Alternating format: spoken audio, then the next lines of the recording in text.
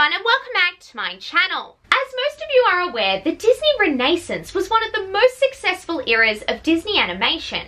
It featured stunning 2D animation that many fans have been missing. For those of you who want to see a return to this style of animation, I have some very good news for you. Recently, a new series released on Disney Plus called Disney Sketchbook. It involved cast members from Disney Animation drawing their favourite characters while talking about their lives and journey with Walt Disney Animation Studios. Eric Goldberg, who started his career at Disney as the lead animator of the genie in Aladdin, is featured in this series, and he stated the following in an interview.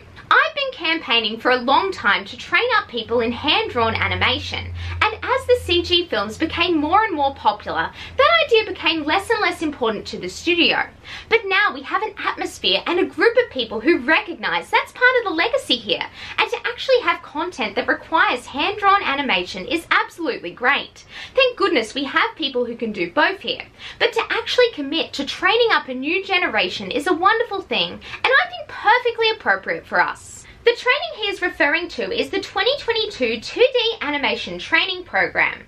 This is a 12-month paid position where trainees learn 2D character animation, effects animation, and cleanup. 2,000 applicants applied and 6 trainees were selected. Goldberg also said that the upcoming 2D projects will include original work, content featuring familiar characters slash worlds, and hybrids, which is a combination of hand-drawn and digital animation.